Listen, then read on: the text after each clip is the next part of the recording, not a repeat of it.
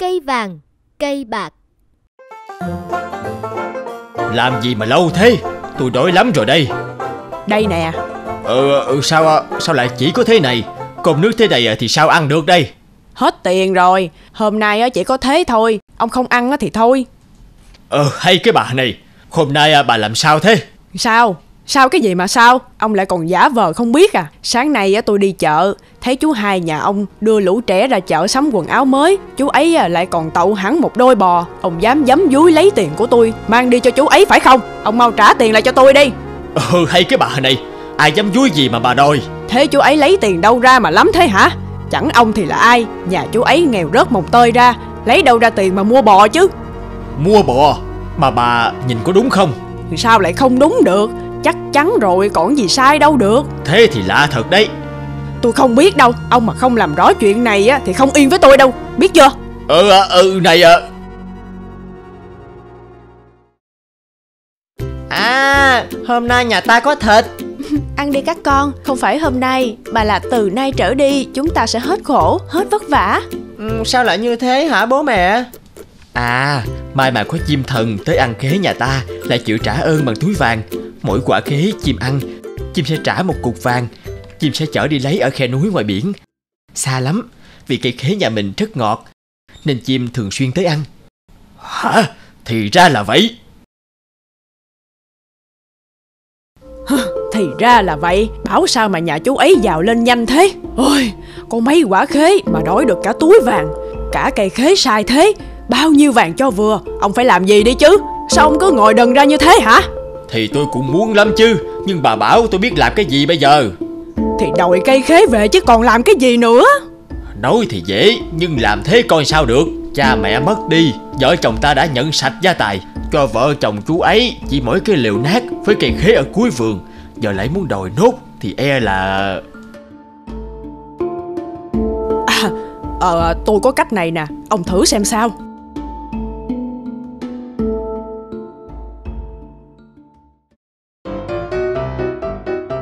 Chú hai à, đang bổ củi đấy à? Ôi anh cả Hôm nay lại rảnh rỗi thế. Mời anh vào nhà em uống chén nước chè xanh. Dạ Mời anh uống nước ạ. À? Chú cứ kệ tôi Anh em khách sáo làm gì?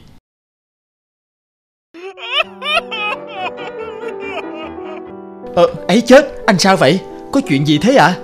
Tôi à, tôi nghĩ mà ân hận quá để vợ chồng con cái chui sống thiêu thốn thế này, Tôi tôi thật ái ngại. Trước đây, tôi có làm gì không phải, Chú cũng đừng để bụng nha. Anh em mà không đùm bọc được lấy nhau, Tôi thật, chẳng còn mặt mũi nào. Ở sau này, chắc tôi chết cũng không nhắm mắt được. Ấy, anh cả đừng nói vậy. Phận làm em ăn thèm phát nặng, em không trách gì anh đâu à, chú không trách nhưng tôi ấy nấy đến chết mất. À, giờ à, à, tôi nhất định phải làm gì đó để giúp đỡ vợ chồng chú cùng các cháu. Ừ, à, à, à, à, giờ chỉ có cách này. À, cả gia đình chú chuyển lên nhà trên ở để tôi chuyển về ngôi nhà này. Ừ, ấy ai lại thế? Em không dám đâu ạ. À. Chú không được từ chối. Ở Chú mà từ chối khác nào không coi tôi ra gì. Chú phải để cho anh sau này còn dám nhìn mặt cha mẹ với suối vàng chứ. Ừ à, Vâng Nếu anh đã nói thế Thì em cũng không dám trái lời. Ôi Cây vàng cây bạc của ta đây rồi. Bắt được mày rồi nha Ăn trộm khế nhà ông đúng không? Ăn một quả cả cục vàng.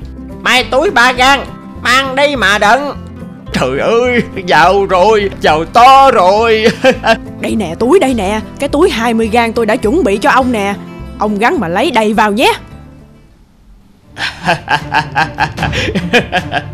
Ta là người giàu nhất thiên hạ.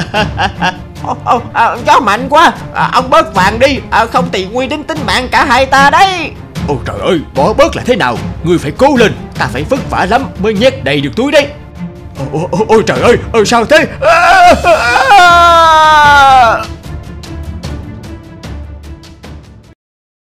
Bác thợ giày và hai chú tí hon Ngày xưa ngày xưa, ở một thị trấn nhỏ xinh, có bác thợ giày tên Sam vô cùng giỏi giang. Nói bác là nghệ sĩ đóng giày cũng chả sai, bởi bác có thể nhốt mình trong xưởng giày cả ngày để đóng được một đôi giày đẹp. Ấy thế nhưng, bỗng một ngày nọ, sức sáng tạo, niềm say mê với giày của bác trở nên nhạt nhòa. Xưởng giày của bác làm ăn ngày một sa sút. Bên chiếc bàn nhỏ, bác Sam ngồi mân mê miếng da, buồn rầu nghĩ ngợi. Ai, trời ơi, mình không sao chấp kim khâu được. Vợ mình nói đúng, nếu cứ như này thì cuộc sống sẽ đi đâu về đâu chứ. Bác buồn rầu nhớ lại ngày xưa, khi mà việc làm ăn còn thuận lợi. Xưởng giày của bác lúc nào cũng tấp nập người ra kẻ vào, ai nấy đều hào hứng với những đôi giày do bác làm ra. Vợ bác ngắm nhìn xưởng giày đông khách, bảo với bác Ông xem, khách đến mua giày ai cũng khen mấy mẫu mới của ông kìa. Bác thợ giày vui vẻ nhìn những người khách thử giày. Ai nấy đều rạng rỡ chọn cho mình đôi giày ưng ý. Thế mà bây giờ chỉ có mấy năm mà hoàn cảnh đã thật khác. Bác Sam buồn bã vuốt phẳng lại tấm da trên bàn thở dài Mới ngày nào xưởng giày còn tấp nập khách ra vào Nay thì nhưng mình không thể vì thế mà làm những đôi giày cũ kỹ như trăm nghìn đôi giày ngoài kia, không có chút sáng tạo nào. Mệt mỏi với những suy nghĩ bộn bề trong đầu, bác rầu rĩ quay sang thổi tắt ngọn nến trên bàn. Ngày hôm sau, khi ánh nắng ấm áp chiếu xuyên qua khung cửa nhà vợ chồng bác thợ giày, báo hiệu một ngày mới bắt đầu. Tiếng vợ bác dịu dàng vang lên trong căn nhà nhỏ. Hôm qua ông làm gì ở xưởng đến tận khuya thế? Còn có mỗi một miếng da cuối cùng thôi mà. Bác Sam thở dài trả lời vợ. À, tôi tính cố làm nốt đôi giày bóng bằng miếng da ấy, rồi đóng xưởng bà. Người vợ lắng nghe chồng nói, buồn rầu bảo. Tôi biết ông rất trọng nghiệp đánh giày được truyền từ đời cha của ông. Nhưng cuộc sống quả thật quá khó khăn, ta phải tính cách khác thôi. Bác Sam sụ mặt xuống, chán nản. Tôi hiểu, việc này tôi cũng đã quyết rồi bà ạ. Đã lâu lắm rồi tôi không còn cảm hứng để đóng một đôi giày đẹp. Việc đóng xưởng cũng là chuyện tất yếu thôi. Vợ bác an ủi. Lô giày động trong xưởng của ông, tôi vừa bán hết đi rồi. Tuy giá rẻ, nhưng cũng để ra được một ít đồng.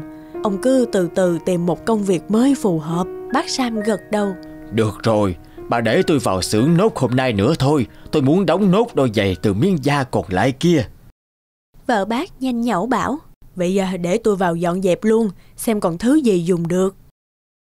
Bước vào xưởng Chợt vợ chồng bác Sam sửng sốt nhìn trên bàn. Một đôi giày da hoàn thiện, đẹp đẽ, bóng loáng.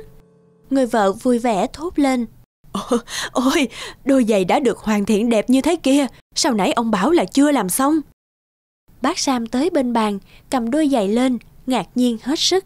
Hả? Thật lạ lùng, tôi còn chưa đụng đến chiếc kim khâu. Sao có thể? Đôi giày này không phải cho tôi làm. Vợ bác trách nhẹ chồng. Cái ông này nói như thế nào ấy? Không ông làm thì ai làm? Vợ bác chăm chú nhìn đôi giày, chép miệng.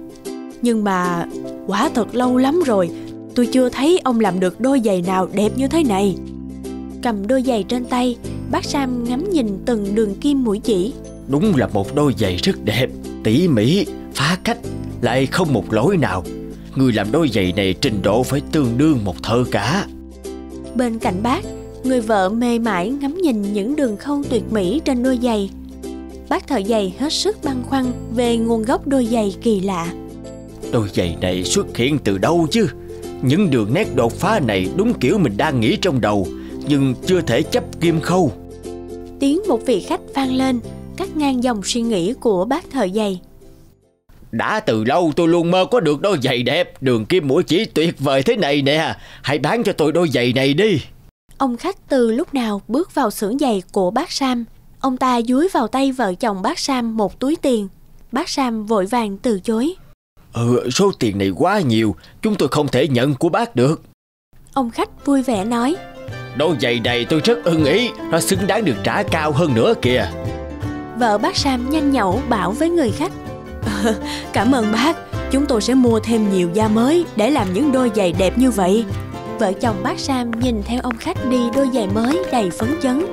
Bác Sam quay sang ngạc nhiên nhìn vợ.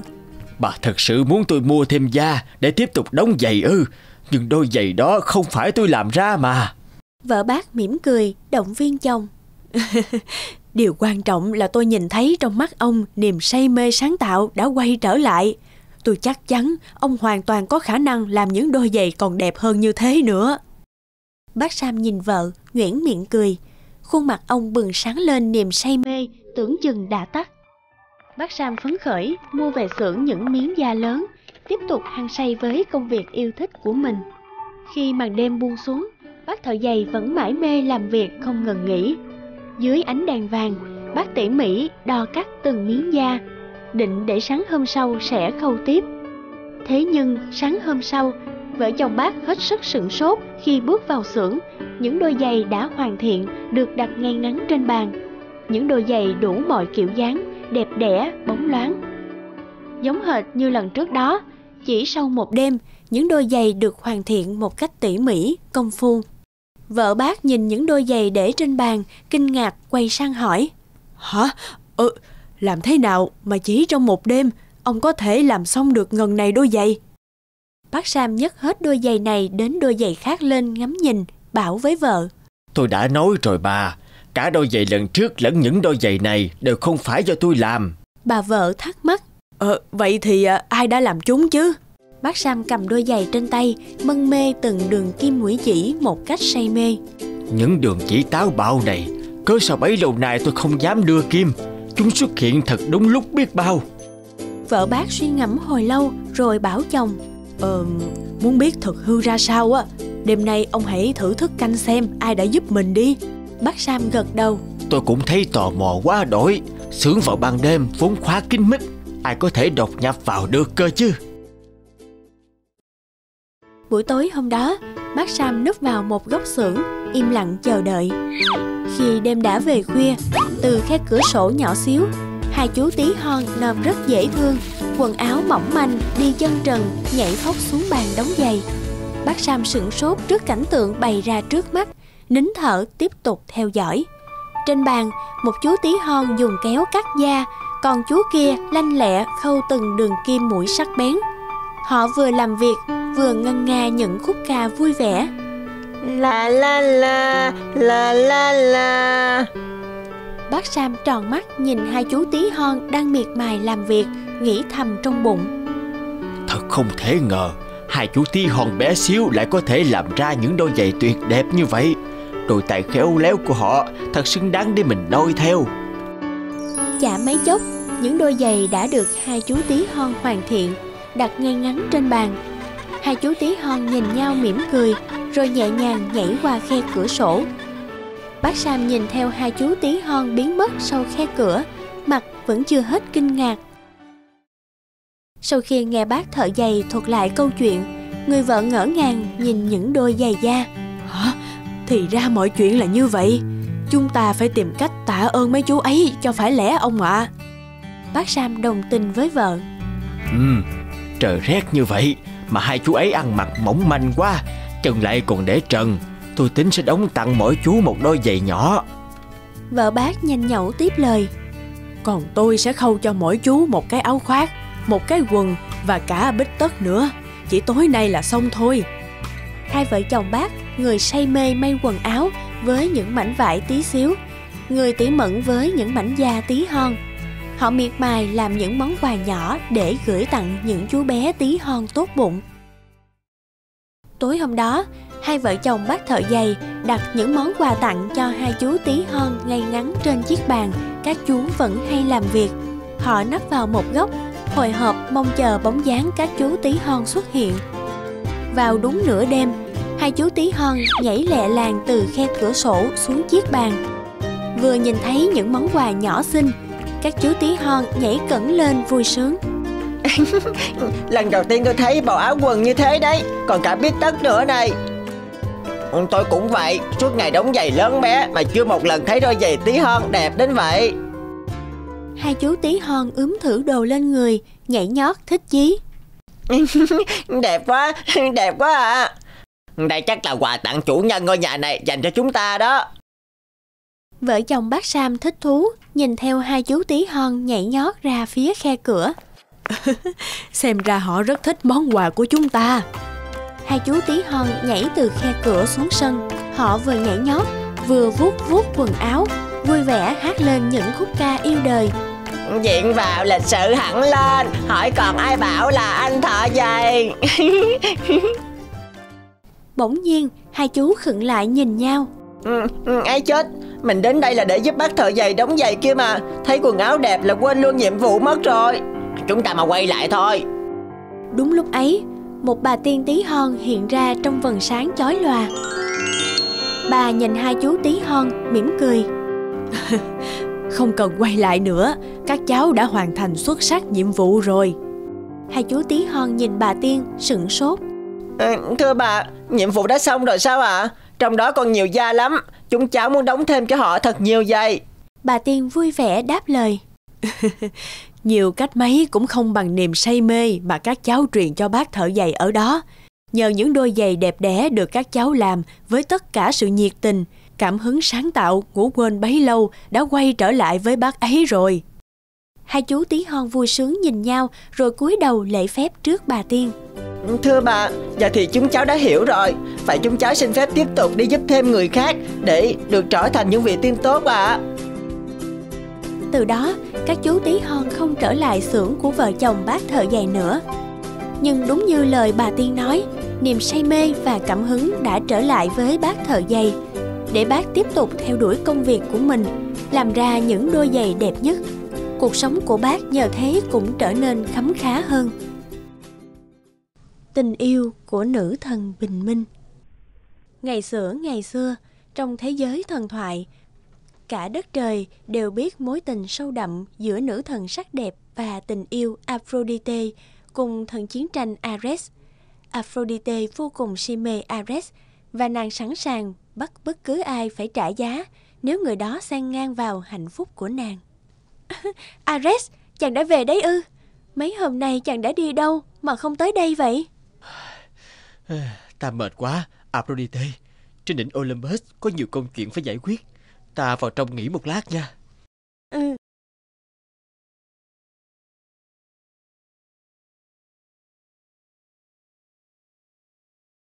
Người thử đoán xem chiếc khăn này liệu là của ai? Thưa nữ thần tình yêu và sắc đẹp, chiếc khăn hồng óng ánh ban mai này đích thị là của nữ thần bình minh Eos. Chỉ của nàng ấy mới có được chất liệu ánh sáng lấp lánh này trên trang phục mà thôi. Tại sao lại có chiếc khăn này trên người Ares? Ta phải đọc lại ký ức của chiếc khăn này mới được.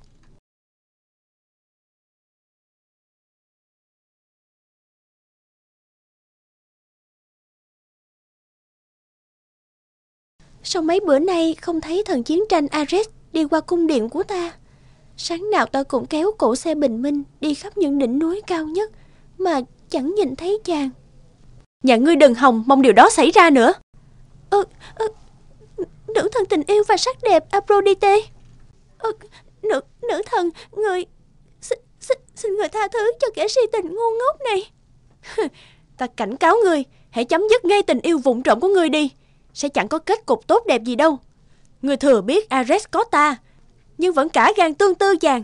Nếu ta không sớm nhận ra, chắc đã đánh mất chàng vào tay ngươi rồi. Eos, ngươi là một nữ thần bất tử. Ta nguyền rủa ngươi phải yêu một người trần mắt thịt và chịu cảnh chứng kiến cái chết của hắn ta khi số phận ngắn ngủi kết thúc. Chẳng bao lâu sau, nữ thần bình minh Eos mau chóng quên đi mối tình với thần chiến tranh Ares và trúng tiếng sét ái tình mới với một người nàng không thể ngờ. Đó là Tithonus, hoàng tử thành trói. Chàng thật khôi ngô và tuấn tú làm sao? Ờ, Sao tim ta thấy chàng lại đập nhanh như vậy? Lẽ nào... Từ hôm ấy, đúng theo lời nguyền của nữ thần tình yêu và sắc đẹp Aphrodite, Eos đã đem lòng yêu chàng trai trần gian Tithonus. Ngày lại ngày, nàng đều âm thầm dõi theo Tithonus từ sau những màn mây bồng bềnh trên trời cao. Nếu ta cứ ngắm chàng từ xa, e rằng chàng sẽ sớm kết hôn với một cô gái khác như mọi chàng trai trên đời này. Ờ, hoàng tử, người đừng đi xa quá như vậy. Ừ, nhưng ờ, giờ ta đang ở đâu thế này? Eos không thể chờ đợi mỗi ngày chỉ ngắm Tithonus từ xa thêm nữa. Nàng quyết định bắt chàng về ở hẳn với mình. Dù ban đầu bị ép buộc, nhưng rồi Tithonus cũng bằng lòng ở lại với Eos. và họ đã cùng sống những ngày bình yên bên nhau.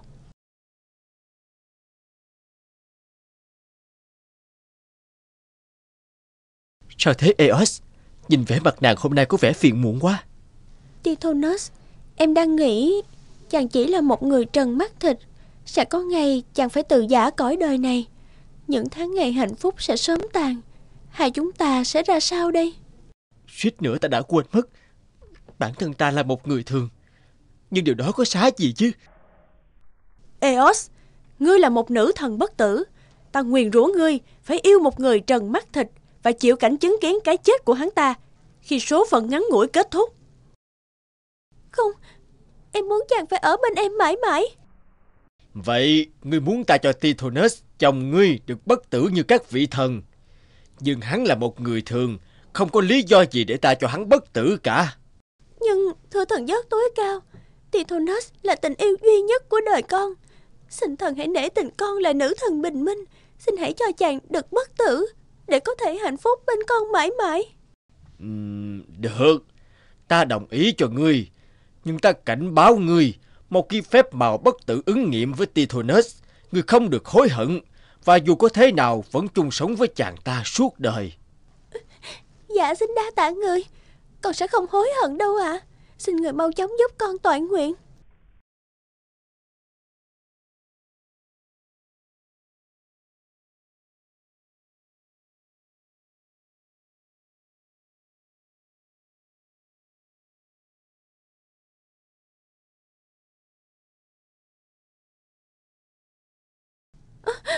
Tithonus, chàng sao thế này? Sao đột nhiên tóc chàng bạc hết vậy? Và, và sao mặt chàng lại đầy đếp nhăn thế này? À, hả? Là ta đây sao? À, không, đây là một ông già nào đó. À, không phải là ta. Em đã xin thần giấc cho chàng sự bất tử vĩnh hằng của các vị thần. Tại sao chỉ sau một thời gian ngắn chàng đã bị già đi nhanh như vậy? Không được, em phải đi hỏi ông ta mới được. Đừng đi nữa, Eos. Nữ thần bình minh Eos, ngươi đã cầu xin ta cho Tithonus sự bất tử. Nhưng sự bất tử không phải lúc nào cũng đồng hành cùng với tuổi trẻ. Tithonus là người bình thường, muốn sự sống vĩnh hằng như các vị thần, thì anh ta phải chấp nhận sự già nua ập đến nhanh hơn.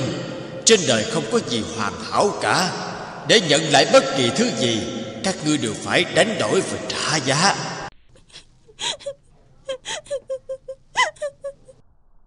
Năm tháng qua đi, xuân đến, hạ đi, thu sang, đông tàn.